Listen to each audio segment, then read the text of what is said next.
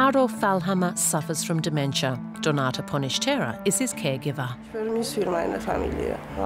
I miss my family, but it is what it is. I need money for medication and to support myself. Donata is from Czestochowa in Poland. Eastern European caregivers are in great demand in Germany, like here in Wernau in the southwest of the country. That's because few Germans want such low paying jobs. It's good money for Donata, but she only goes home to Poland every few months.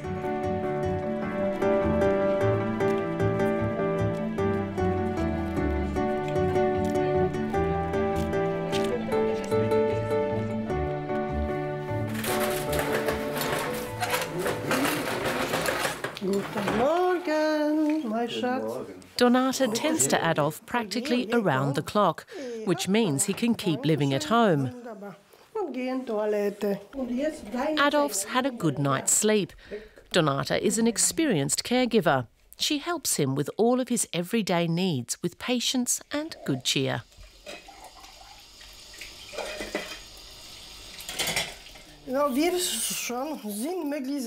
I've been at his side for six years now, almost seven. We know each other very well.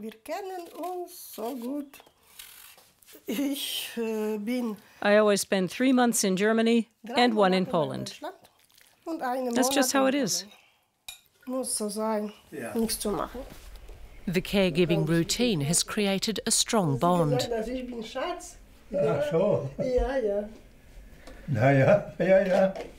Adolf seems content. The 80 year old once worked for the railway.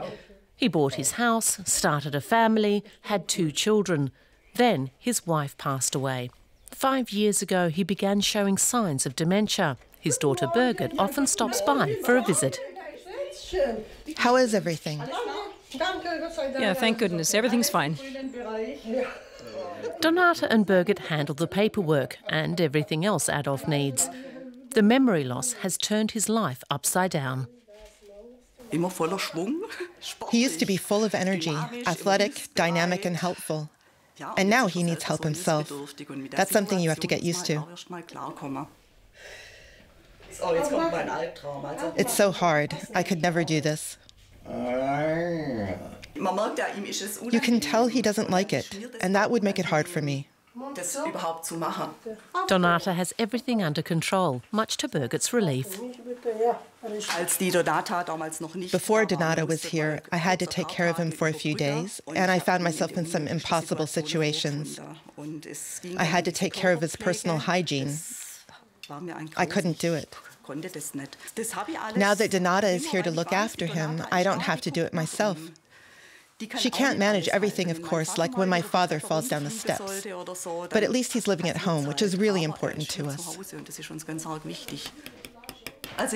I don't think my father recognizes me anymore, but that's just how it is.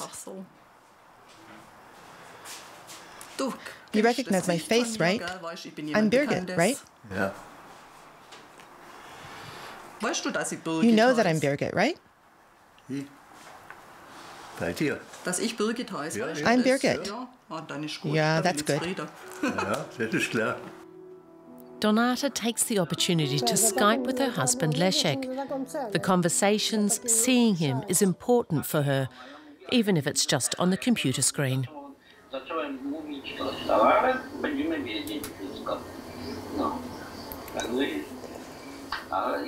She's also hoping to get a chance to talk to her three children and two grandchildren.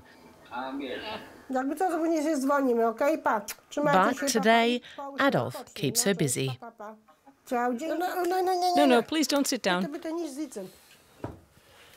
It's an exhausting job, and she's already 55 years old herself. Mai ist das alles schön, so schön.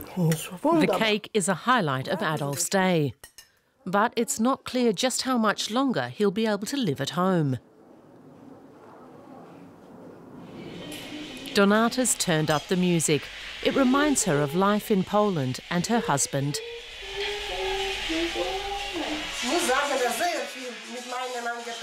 I used to dance with my husband often. He was a good dancer, but not anymore. It was a great time. Those days are in the past. Now Donata spends most of her time in Germany. Adolf's son Jörg stops by for a visit. What needs doing in the garden? Being outdoors and tending to the garden brings the family together. We can't take care of our father ourselves because he needs around the clock assistance. And that's hard to do when you've got a regular day job. Donata is very warm and caring in how she tends to her father. Birgit and I wouldn't be that tender, even though, or maybe because, he's our own father.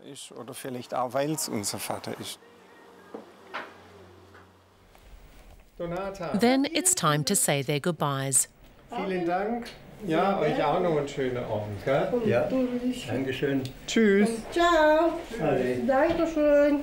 Come, Dolphy. Come on, Dolphy. Let's say goodbye to the young man. No, spring. Zack, zack, zack. Ciao. Tschüss, Dankeschön.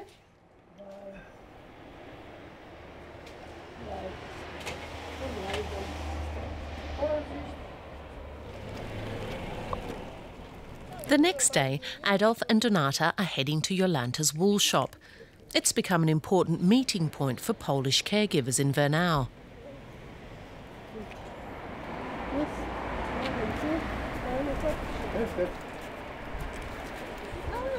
Jolanta helps connect German families with Polish caregivers. They're highly sought after, which is good business for Jolanta.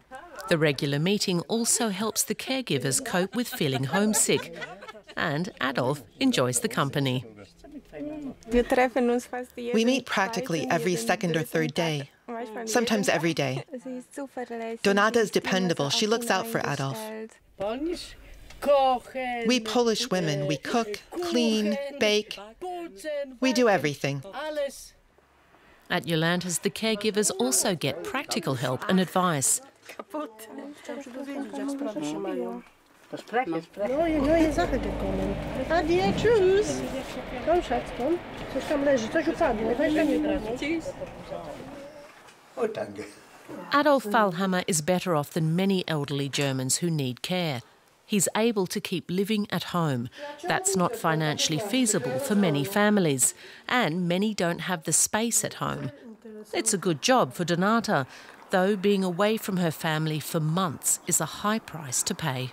Ich bin müde, ja, stimmt. Ich bin I'm tired, yes, that's true. I work a lot every day. No, jeder Tag ist viel Arbeit und. äh, And I miss my family. meine Familie. Ich vermisse, no, aber muss. But äh, that's how it is. I need the äh, money for medication, for my life, my für apartment.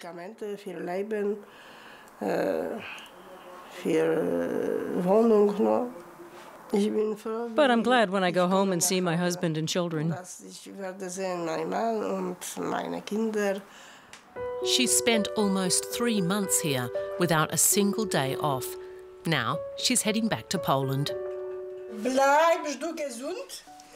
You take care of yourself. Don't forget to eat and drink. Bitte trinken. Und bleibst du gesund. Take care of yourself. Na, Schatz. Wiederschön. Some 200,000 East European women work as caregivers in Germany today. Many of them are old enough to retire themselves.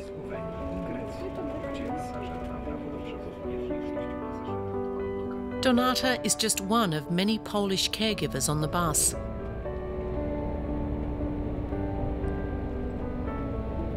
They're exhausted but happy to be heading home.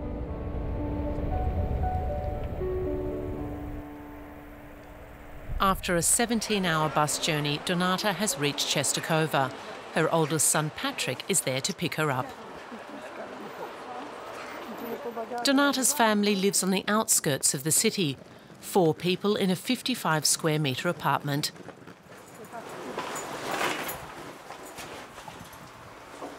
Her son Alexander is on the couch.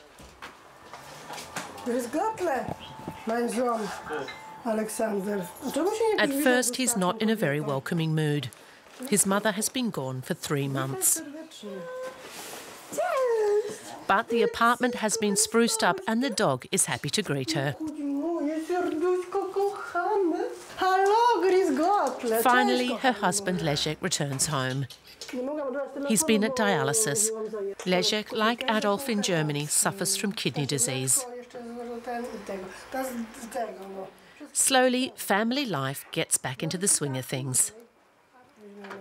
Out of habit, Donata speaks to her husband in German. It takes some getting used to being back in Poland. My man is, jest My husband's tired because he's had a five hour dialysis session, dwie sztundy dializoterapii, aber but everything's fine. Later, they head off for a walk in the countryside. Just the two of them.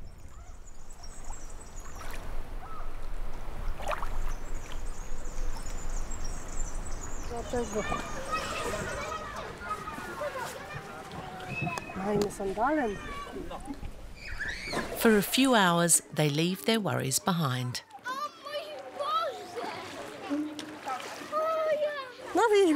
I feel very happy when I'm here. I love this place. It's not too crowded and it's so quiet.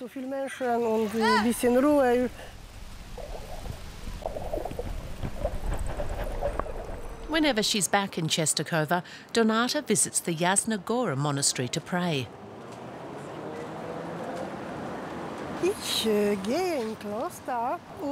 I go to the monastery and thank God that I made it back to Poland in good health.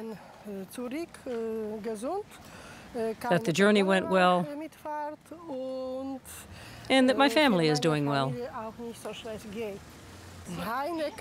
I get my strength and my energy from God. Despite her strength and optimism, she feels torn. But Donata accepts her situation as it is.